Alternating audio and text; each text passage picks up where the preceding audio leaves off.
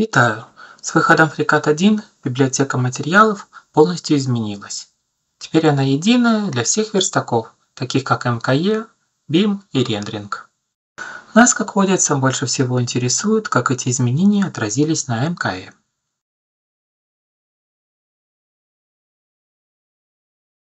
Итак, переходим в МКЕ, создаем расчет, добавляем материал. Выбор материала теперь вместо списка представляет собой дерево каталогов. Из-за того, что библиотека теперь единая, в ней присутствуют материалы с одинаковым названием, но разным назначением, из-за чего с непривычки можно запутаться. Возьмем, например, алюминий.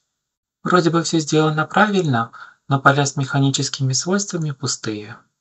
Обратим внимание на название папки. Очевидно, этот алюминий не для расчетов, а для визуализации. Ищем дальше. Находим целую папку с алюминием. Выберем что-то в ней. А вот уже у этого алюминия есть и механические, и теплотехнические свойства. Если материала нет в библиотеке или не хочется его искать, по-прежнему можно поставить птичку, при которой активируются поля ручного ввода свойств материала. Если нужно добавить материал в библиотеку, то можно вызвать редактор материалов, нажав вот эту кнопку.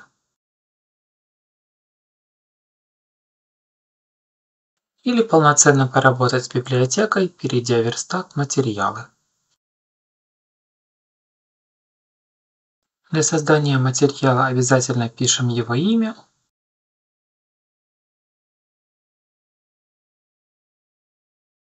При необходимости также можем заполнить поля с дополнительной информацией. Добавим ему физические свойства. Для начала добавим плотность. На вкладке «Свойства» можно уточнить единицы измерения.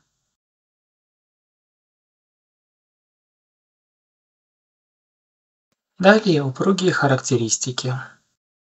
Их тут несколько, поэтому на вкладке «Свойства» стоит уточнить, что в них входит. Ну и теплотехнические свойства пусть тоже будут.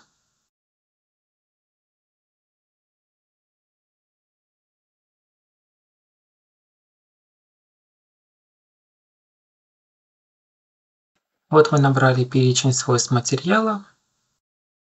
Теперь заполним поля со значениями этих свойств. Плотность.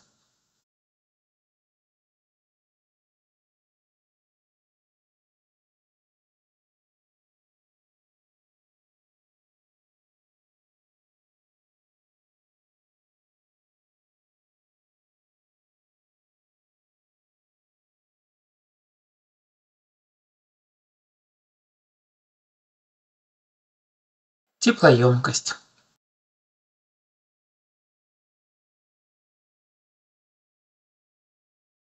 Теплопроводность.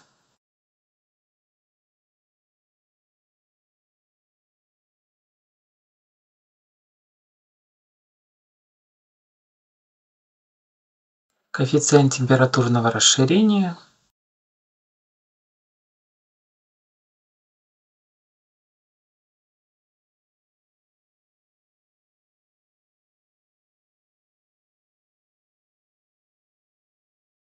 Референсная температура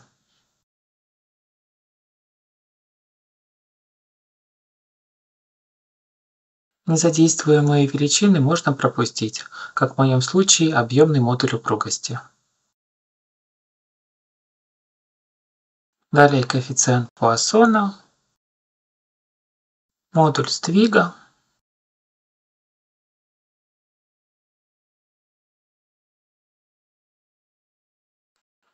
Модуль деформации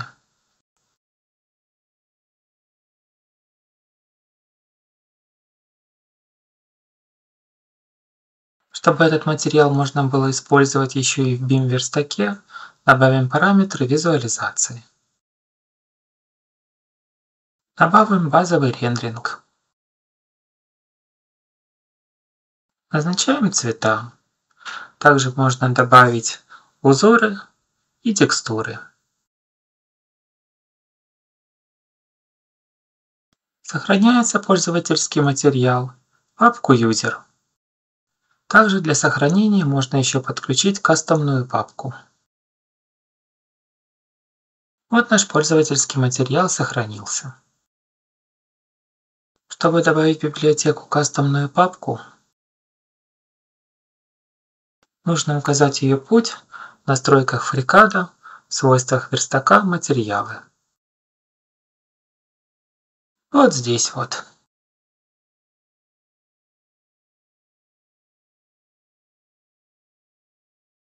Как вы уже, наверное, заметили, у меня в кастомной папке присутствуют какие-то материалы, и они почему-то отмечены восклицательным знаком. Эти материалы я создавал для прошлой версии FreeCAD, и в новой версии они не воспринимаются. Несмотря на то, что карточка материала по-прежнему представляет собой текстовый файл в формате WTO8, ее синтаксис кардинально поменялся. И для FreeCAD 1 Материалы нужно создавать с нуля. Библиотеку материалов и папку, куда сохраняются пользовательские материалы, можно найти по этим адресам. И напоследок попробуем добавить в расчет только что созданный нами пользовательский материал.